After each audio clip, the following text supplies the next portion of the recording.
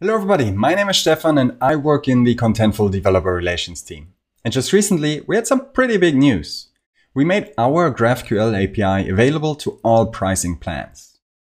And the best thing about this is that it includes the community edition, which is free. So if you're not using GraphQL today, maybe today is the day to get started.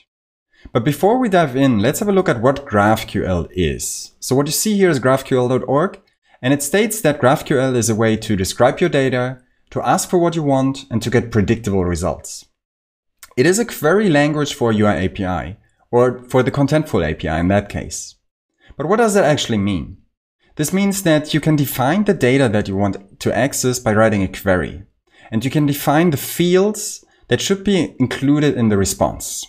This means that there is no need for unnecessary data going over the wire. Additionally, Let's say you're building a website with five completely different resources. Usually this meant that you had to make five HTTP requests. With GraphQL, you can write a query and you can access all the data that you need in a single HTTP call. And lastly, and that's my favorite part, is that GraphQL comes with a type system and with a schema definition. And this allows tools like GraphiQL. So GraphiQL is a tool that shows you all the functionality that is included in an API endpoint. All the resources, all the filters, and you can write your queries and discover the functionality by just using this tool. There's no need to install SDKs or reading API documentation, because it's all in one place. And this speeds up things tremendously, believe me. So what will we do in the upcoming episodes? We're going to start fresh with a new React app and we're going to use create React app because it's the go-to way to bootstrap new React applications.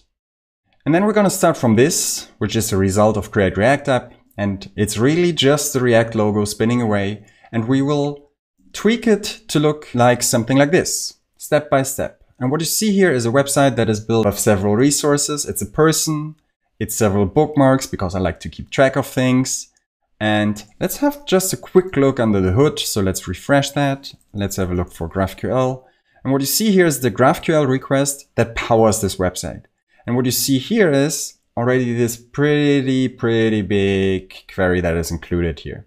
So it includes GraphQL fragments, filters, variables, and we're going to build this query step by step. So let me just show you that this application actually works. I'm heading over to Contentful. So you're seeing here one resource, which is a person. And let's maybe, let's get started. Let me publish this. Let's do a refresh. And here we go. I'm excited. Let's get started.